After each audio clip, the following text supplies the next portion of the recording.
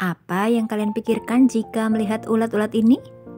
Ternyata ulat-ulat ini bisa berubah menjadi kupu-kupu yang sangat cantik. Di video ini kita akan mengenal metamorfosis kupu-kupu. Metamorfosis kupu-kupu dimulai dari telur. Setelah telur menetas berubah menjadi larva atau ulat.